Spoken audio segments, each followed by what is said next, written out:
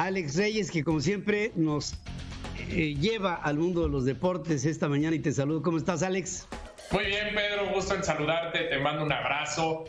Y Pedro, tú te acordarás aquellos años gloriosos de los 60s y 70s con mexicanos brillando en el tenis. El pelón Osuna, ¿no? Raúl Ramírez, este, Toño Palafox, Vicente Zarazúa, este Pancho Contreras, ahí Pancho, buenas.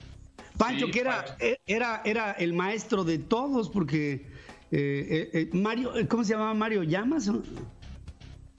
Mario Llamas, sí, sí. Y, sí, ¿verdad? Sí, sí, también Mario Llamas, sí.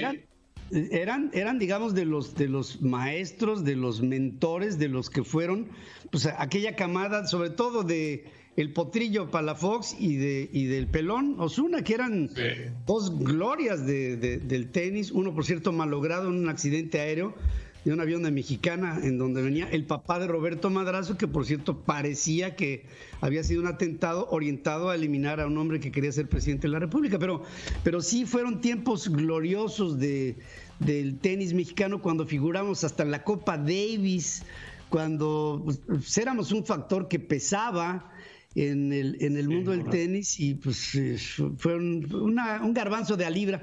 Yo creo que el último, digamos, de este representante, años después, fue Raúl Ramírez. No sé si estés de acuerdo conmigo. Sí, a gran escala, por supuesto, pero peleando títulos de Grand Slam, jugando Copa Davis de una manera extraordinaria. Después vino otra generación, te acordarás, en los noventas con Maciel, con La Araña, con Jorge Lozano, un poco más chicos, este, bueno, de la generación Oliver Fernández, que después inmerso ahí en temas políticos intensos con oceanografía, eh, ¿quién más? Leo Lavalle, eh, Oliver Fernández ya lo decía. No, no, bueno, pues varios, pero hoy, hoy es muy triste decir que nuestra máxima carta no tiene nada malo, pero tiene 37 años, ¿no? Y tiene muchísimo mérito el que Santiago González a esta edad siga siendo el único mexicano en estar apareciendo, no en singles, ya desde hace unos años en dobles. Y bueno, pues es lo único que México ha sido incapaz en 20 años de producir chavos talentosos para llevarlos al mundo. Dato bien interesante, Pedro. Colombia se está corriendo la Tour de Francia. Hay 11 colombianos. No sé cómo estaremos hoy en comparación en economía con Colombia, pero en deportes hay algunos donde nos ha dejado muy atrás. En el tenis, el número uno del mundo es colombiano, también en dobles y México. No sé por qué, pero estamos tan, tan mal en deportes. Bueno, una parte sí la sé, las decisiones que se toman, pero antes quizá no había lo mismo que ahora y, y había talento, ¿no? Y hoy, tristemente, pues tenemos que decir, que Santiago es el único chavo mexicano a mucho orgullo y con un gran esfuerzo y él solo, sin apoyo de estructuras gubernamentales, con pocos patrocinadores, ahí anda dando la batalla por el mundo y ojalá le vaya muy bien. En un par de minutos Pedro arranca ya su participación en el US Open. Ayer tuvimos la posibilidad de platicar con él y Amar Oliver nos presenta lo que dijo para Central FM Santiago González. Omar, buenos días. Hola Alejandro, muy buen día para ti y al auditorio de Central FM. Después de seis meses de inactividad, el tenista mexicano Santiago González regresa a las canchas en el marco de un atípico segundo Grand Slam del año, que en esta ocasión será el abierto de los Estados Unidos, cuando junto a su pareja el británico Ken Skupski se midan en unos minutos más ante la dupla integrada por Simone Bolelli de Italia y el argentino Máximo González. El veracruzano, junto al resto de los participantes en el US Open, se han integrado al llamado Plan Burbuja, similar al que adoptó la NBA y en el que todos se encuentran bajo un entorno controlado en la ciudad de Nueva York. Escuchamos a Santiago González.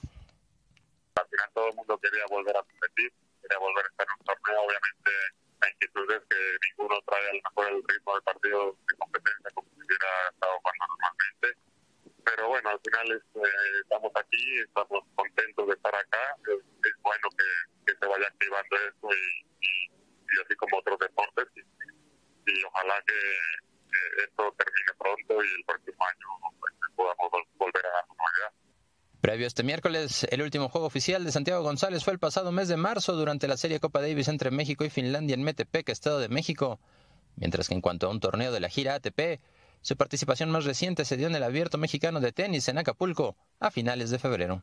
Al término de su participación en el US Open, Santiago González aguardará hasta el abierto de Francia, a la espera de evaluar su actividad para el resto del año. Regreso contigo Alejandro, que tengas muy buen día. Muchas gracias, Omar. Mucha suerte a Santiago. Hace 10 años debutó justamente en el US Open. Ojalá hoy pueda tener una buena presentación.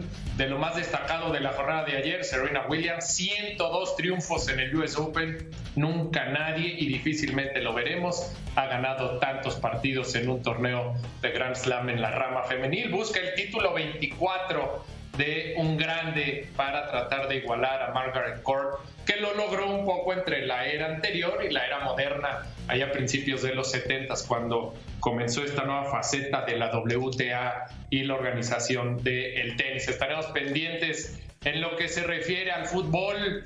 Leo Messi, pues sigue siendo la gran nota. Hoy aterrizó en Barcelona su papá, Jorge Messi, y de lo poco que dijo es que ve muy difícil que continúe con el Barcelona que no ha hablado con el Manchester City, no ha tenido mayor referencia, pero lo que sí dejó claro el papá del jugador es que se ve muy difícil el panorama. El objetivo a su llegada es encontrar una buena negociación, ni tener que pagar los 700 millones de euros que el Barcelona y la liga piden, ni que se vaya gratis, como también es la intención o ha sido, según dicen, la intención del futbolista argentina, la gran estrella, y por lo pronto el Barça, pues tener que organizársela, saber cómo recupera, si es que se va Messi, de esa gran estrella que fue durante casi 16 años jugando en el primer equipo. Esta noche el América recibe al Mazatlán las Águilas del América, con tres derrotas consecutivas en el torneo mexicano,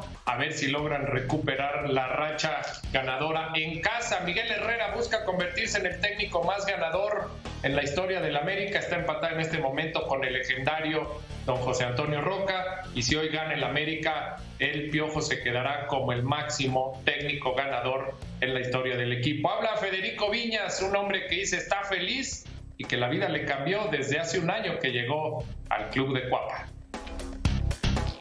Y, bueno, el, club, la, gente, la institución te, exige ganar todos los partidos, ir por, por el campeonato y bueno, no, no hay margen de error y bueno, tratamos de, como te dije recién, eh, trataremos de mejorar, eh, de trabajar y bueno, dar el mejor nivel posible. Eh, bueno, la gente le digo que, que, se quede tranquila, que nosotros tratamos de, dar lo mejor en cada partido, en cada juego, en cada entrenamiento día a día, acá con, con todos. Bueno, pues a ver qué tal se pone el partido con el que arranca la jornada 8 del torneo Guardianes 2020. Hoy es miércoles y hoy nuestros amigos de Fútbol Total están con nosotros. Pati Espíndola platicó con Tito Villa, Hoy los cruzazulinos ya no añoran tanto un goleador como él porque están bien cubiertos con el cabecita Rodríguez y también el mexicano Santiago Jiménez, hijo del Chaco.